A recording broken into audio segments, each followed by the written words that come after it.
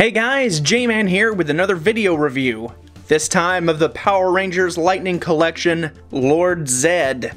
Of course, this is the big baddie from Mighty Morphin Power Rangers Seasons 2 and 3. And just to start off, I probably want to say this is the absolute greatest Lord Zedd action figure we have ever gotten. But hey, spoilers! Anyway, let's let's dive right into this guy. Well, starting off, let's talk about the looks of the figure.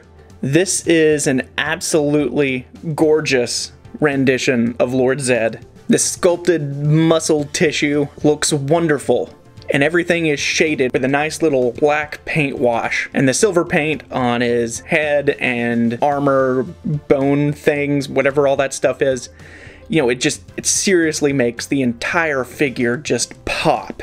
He's a hulking mass of muscles and an exposed brain, and it just, it looks so good. And so I guess while we're here, let's, uh, let's go ahead and take a look at the articulation.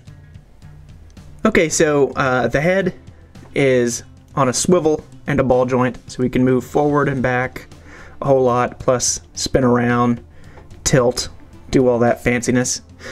Uh, the shoulders are on a standard Marvel Legends style set of swivels, so you can go up, down, mostly all around, except for these things getting in the way, and you can move in and out. He's also got a bicep swivel, double jointed elbows, the wrists on all of his hands are on a peg and swivel, so you can spin them around as much as you want. Plus his chest has a ball joint, so he can move around. Plus he has an ab crunch, so that just gives him even more flexibility to do whatever he wants.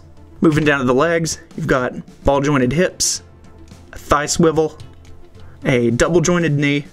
There is no boot cut, uh, but he does have those uh, those rocker ankles that go up and down, and uh, of course tilt from left to right. The articulation on Lord Zedd is phenomenal.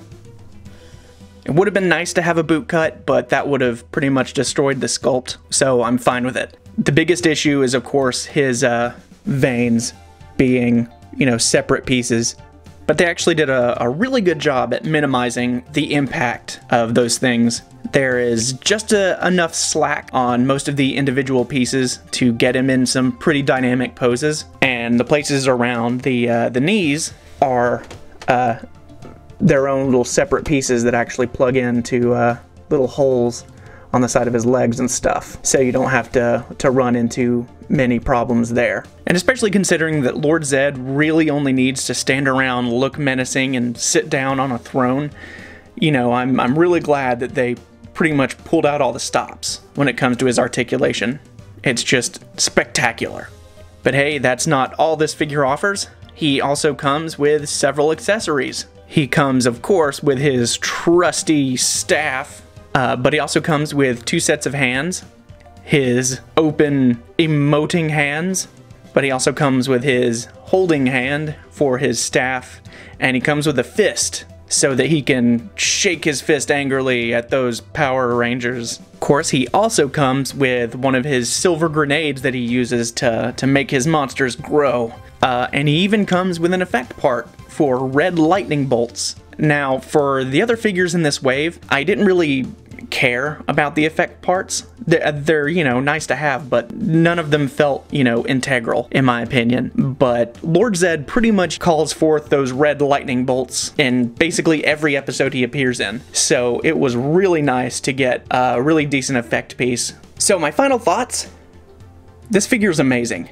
The White Ranger's a, a really great figure, but, you know, there are lots of White Ranger figures out there. And if you already have the SH Figuarts release, you know, you might not be too interested in getting the White Ranger. However, there have been no Lord Zedd figures on this level. The articulation, the paint apps, everything about this figure just screams super quality. I don't just recommend him. If you like Power Rangers, you need to get him. He is fantastic. I cannot sing Lord Zedd's praises enough. So, if you liked the video, feel free to hit that like button.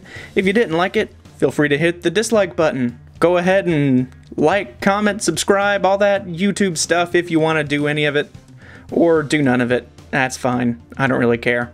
So thanks for sticking around to the end, uh, and I will see you guys in the next video. Peace, my babies.